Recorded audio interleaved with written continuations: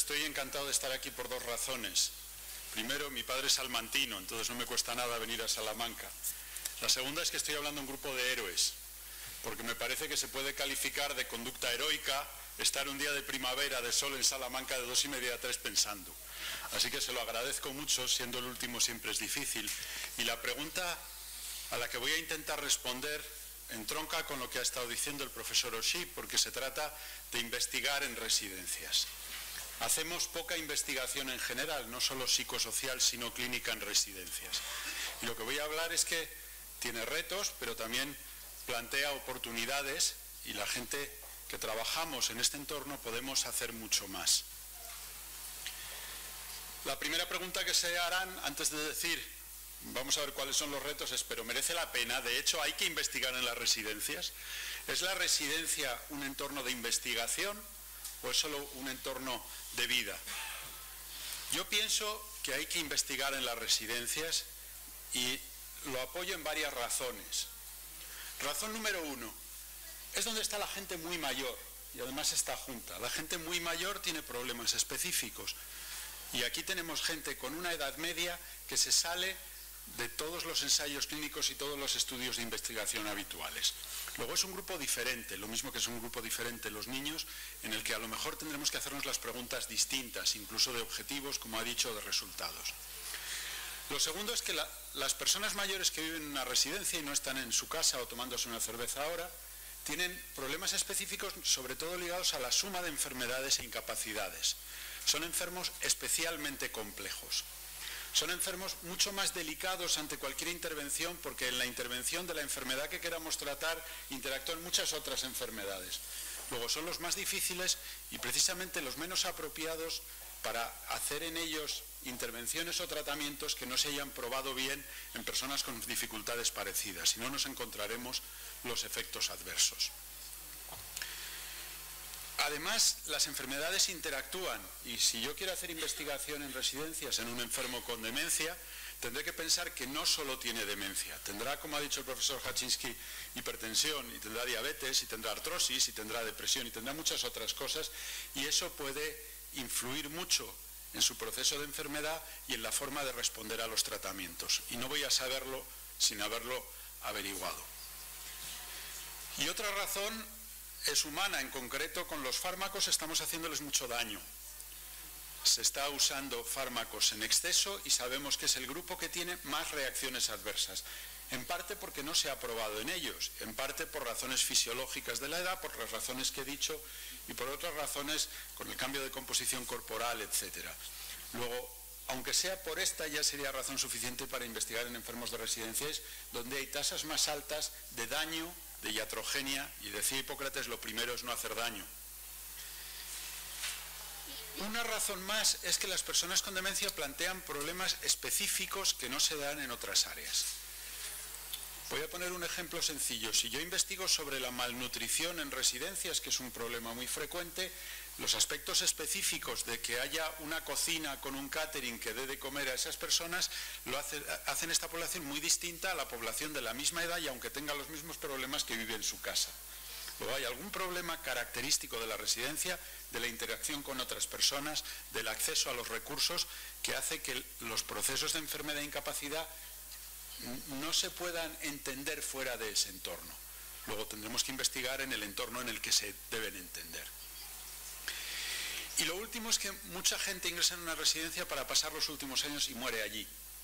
Y hay investigación específica del final de la vida, de cuidados paliativos y todo el concepto amplio del final de la vida que se dan en el domicilio y en el hospital, pero hay aspectos específicos que se dan dentro de las residencias. Y de nuevo, si no investigamos, no sabremos con cosas tan absurdas como que cuando yo tengo un enfermo con cuidados paliativos y le tengo que inyectar un morfítico subcutáneo, puedo enseñar a la mujer hacerlo, pero en una residencia no está incluido en el convenio de las auxiliares que hacen ese papel, pero justo no pueden hacer el papel completo. Hay cosas muy concretas que tenemos que investigar y que tenemos que aprender a pasar incluso en estos entornos. Al final lo que sucede es que estamos tratando los pacientes de residencia, en muchos casos, como se haría hace 2.000 años, sin datos científicos, basándonos en datos científicos obtenidos en personas más jóvenes, más sanas, con enfermedades únicas y que viven en su casa. Y con eso lo que cometemos eh, o ponemos a los profesionales que trabajan en residencias ante un problema ético grave, porque pueden tener dos opciones. Opción número uno, le trato sin evidencia porque parece que funciona y no le voy a dejar sin tratar si hay alguna opción de que le alivie el sufrimiento con esta medida. Opción número dos, le dejo sin tratar porque no tengo datos y le puedo hacer daño y le quiero evitar un daño y le privo del posible beneficio que dé. Ninguna de las dos opciones es buena. Y cuando en ética hay dos opciones malas, hay que intentar resolver la situación basal en la que se produce esa decisión ética. Estos son aspectos evidentes y digamos de índole eh, conceptual. Pero si uno quiere ser práctico, también puede tener aspectos más especiales o profesionales para investigar en residencias. Esa revista, la revista americana de, la Asociación de Directores, y directores son básicamente directivos y médicos de residencias o de centros equivalentes, lo que aquí llaman sociosanitarios, hoy día es la revista de más alto factor de impacto dentro del área de la geriatría clínica.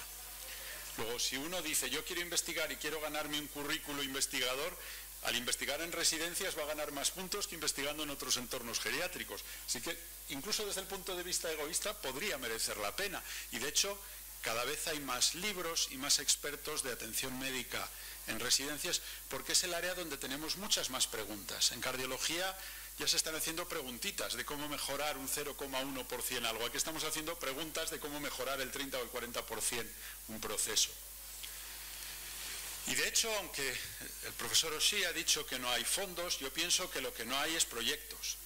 Cada vez hay más fondos de investigación dentro de lo social, dentro de lo psicológico y dentro del área de salud, en el que un buen proyecto de alta calidad que ha respondido a todas las respuestas que ha dicho de criterios de inclusión, criterios de exclusión, aspectos de no contaminación algunos que voy a repasar ahora, si se presentaran más proyectos había más dinero. Yo pienso que los profesionales no podemos exigir dinero hasta que no ofrezcamos calidad al financiador y le pongamos en un brete tan grande que tenga que decir esto lo tengo que financiar. Y ya digo que ahora, no en España, como saben, pero en Europa y en trabajos colaborativos con otros países hay mucho dinero entrando justo en este campo de las personas más dependientes, en parte las que están en residencias.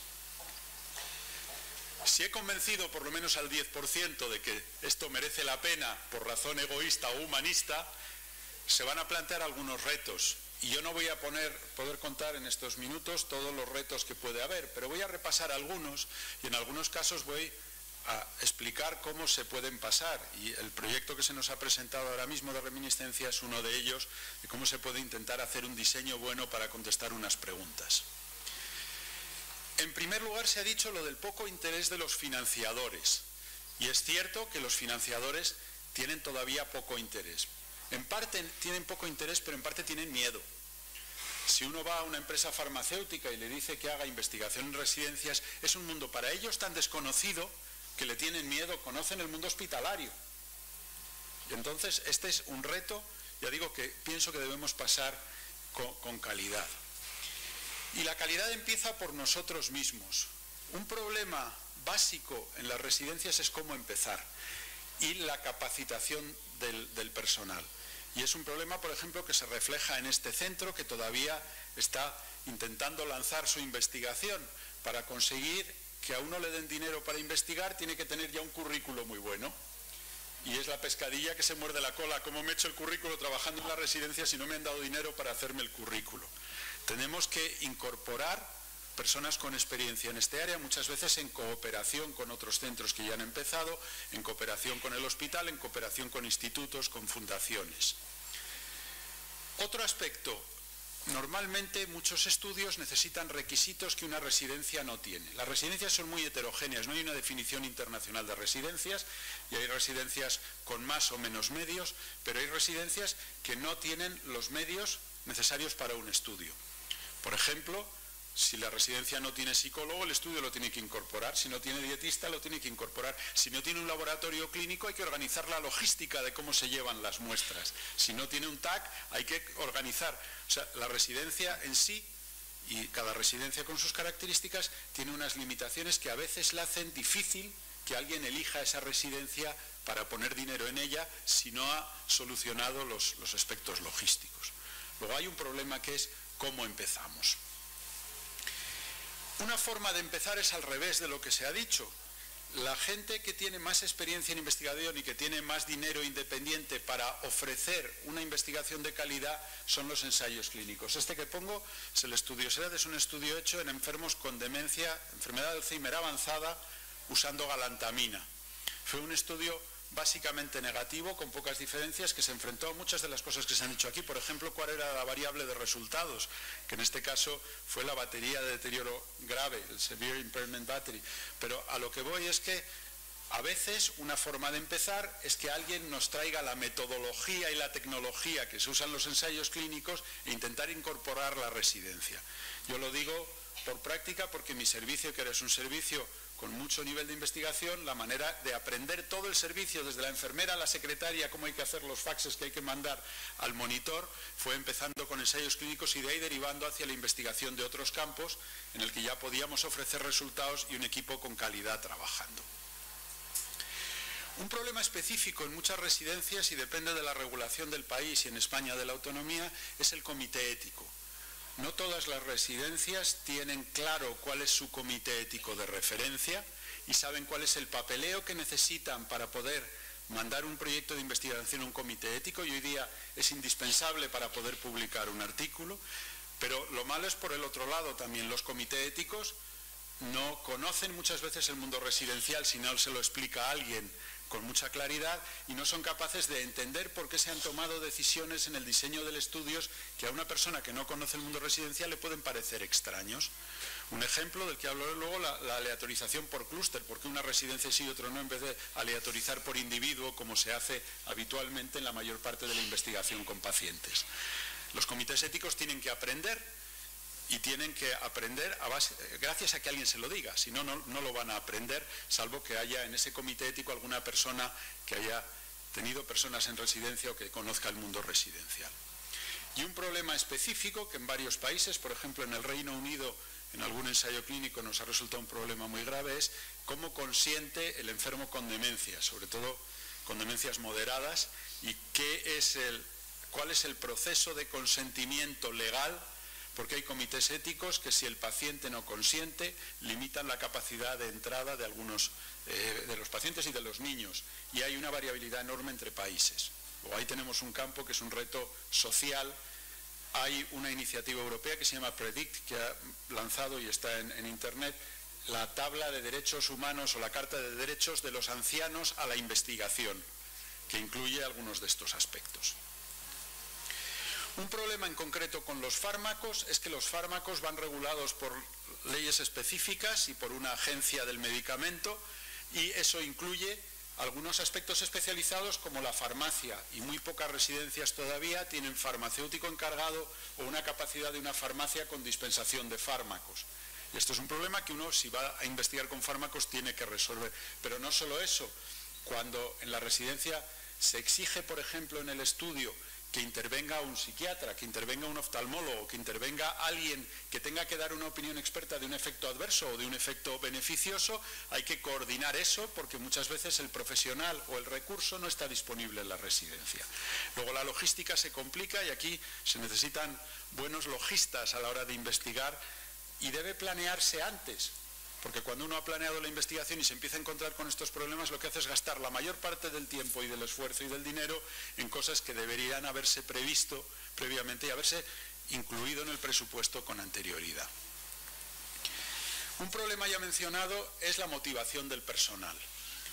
Las auxiliares de residencia, una de las profesiones con, si no la que más, tasa de recambio profesional de todas las que hay en la mayoría de los países que hay residencias, por sobrecarga emocional, por un trabajo de, eh, de baja gratificación y encima les exigimos a ellas, que son las que sustituyen la familia, y suelen ser, digo ellas porque suelen ser mujeres, como saben, que tengan una carga más encima anotando lo que ha comido, mirando qué comportamiento tiene. Les estamos haciendo más trabajo. ¿A cambio de qué? Es difícil motivar un personal que está muy sobrecargado y que se encuentra sobrecargado y en concreto en este nivel solo por el aspecto ético-humanístico. Muchas veces hay que primarles con otras cosas y hay que contemplarlo, con dinero, con días libres o con algún otro tipo de gratificación que encuentren. Si no, no vamos a conseguir en un personal escaso y poco motivado que lo haga.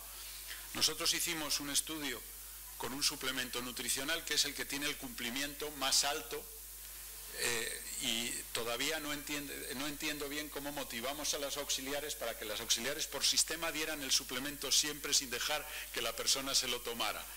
Se puede llegar, pero tenemos que intentar comprender la motivación del personal para poder poner los remedios. Y de esto sí que no hay investigación suficiente. Cómo integrar el personal no sanitario en los estudios. Un problema que se ha mencionado aquí ya dos veces es la contaminación de la intervención. Una persona que cree que le funciona y además el hecho de que si yo en una residencia uso la planta de un lado, la este, para la intervención y la planta oeste para la no intervención, el personal se cruza y la gente habla. En un ensayo que se ha hecho en una residencia recientemente, mi amigo el doctor Serra del Hospital Gregorio Marañón, que era de ejercicio, pusieron máquinas de ejercicio en la residencia para hacer ejercicio a gente de más de 90 años y tenían que cerrar con llave para que no se colara el grupo control. Este tipo de problemas de contaminación de la intervención normalmente se consigue a base de técnicas estadísticas, por ejemplo, la randomización que llaman por clústeres, que es en una residencia sí, en otras no, pero también hay, hay, que ver cómo mantiene uno el ciego. Hace poco, esto es una tesis que se presenta dentro de poco, hecho por un director de una gran cadena de residencias, hicimos este diseño aleatorizando 60 médicos a un programa de intervención educativa y como hablan entre ellos tenían que pensar que era un programa de mejora de la calidad de la prescripción y no que estaban sometidos a una investigación clínica. Solo porque si no hubiéramos contaminado y los de las residencias de control hubieran intentado hacerlo mejor aún que si piensan solo que es una cosa ya está la dirección intentando convencernos.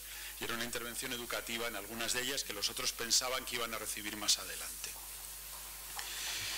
Ya he dicho que hay problemas específicos en paliativos, pero estos no son solo los de las residencias, sino los, problemas específicos que plantea un diseño de investigación en un grupo que va a vivir poco tiempo con problema de consentimiento y con síntomas que difícilmente pueden ser sometidos a tratamiento con placebo. Esto es un estudio basado en el ensayo, vamos, el estudio de investigación más grande europeo en residencias, se llama el Shelter, en que intentamos averiguar en los enfermos con demencia al final de la vida qué papel tenía la polifarmacia. Solo en aquellos con demencia muy grave la polifarmacia producía un aumento de la mortalidad, pero se necesitan hacer diseños bastante complejos de investigación para contestar a este tipo de preguntas al final de la vida. Y hay una última cosa que es, o una penúltima, la discriminación de los mayores. Parte de las razones por las que no se hace estudios en residencias son porque son personas mayores y las personas mayores están excluidas de forma sistemática de muchos estudios, sobre todo de ensayos clínicos de fármacos, por la enfermedad que sea. Y aunque esto se ha reducido, sigue sucediendo. Hace poco revisamos los protocolos que hay ahora mismo de tratamiento de la diabetes. 30% de las personas muy mayores son diabéticas y la mayor parte de los diabéticos tipo 2 son mayores. El 60% de los estudios que se están haciendo ahora con los fármacos que vamos a usar ponen un límite de edad para discriminar y varios más ponen límite por polifarmacia, pluripatología. Los fármacos que salgan en los próximos 10 años para la diabetes no van a estar estudiados en población mayor, ni siquiera sana, no digo la de las residencias. Aspectos positivos. En las residencias hay áreas que ahora están de moda y que se puede empezar a trabajar con ellas.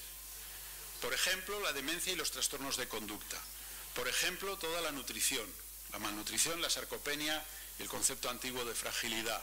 Por ejemplo, el uso de fármacos. Estos son áreas en que ahora mismo, en las llamadas últimas de fondos europeos, hay fondos específicos para estas tres áreas. ¿Por qué no empezamos a presentar proyectos en de residencias?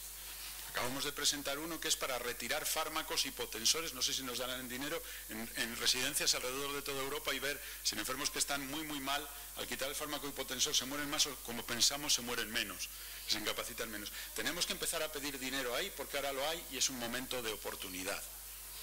Esto es ejemplo, un estudio sobre el uso de fármacos en personas mayores en residencias que hicimos nosotros.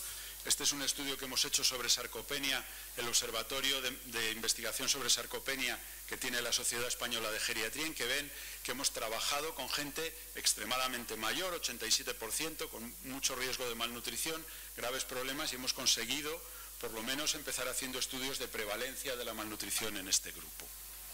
Se puede hacer investigación en residencias, pero hay que pasar estos saltos. Mensajes, porque me están llamando la atención y eso que llevo 19 minutos y medio en este momento. Entiendo el hambre de todos y entiendo que han venido la gente que tiene que clausurar. Los mayores, las personas mayores en la residencia y la sociedad como tal tiene derecho a que se haga investigación en este tipo de centros. Es un derecho de la sociedad y de ellos. Aunque hay retos, cada uno de los retos tiene una respuesta o un grupo de respuestas que se pueden afrontar con inteligencia y con voluntad. Y además es un área que hoy día es un área de oportunidades. Así que en tiempos de crisis y que necesitamos empleo, les ofrezco un área nueva de empleo y de traer dinero. Muchas gracias.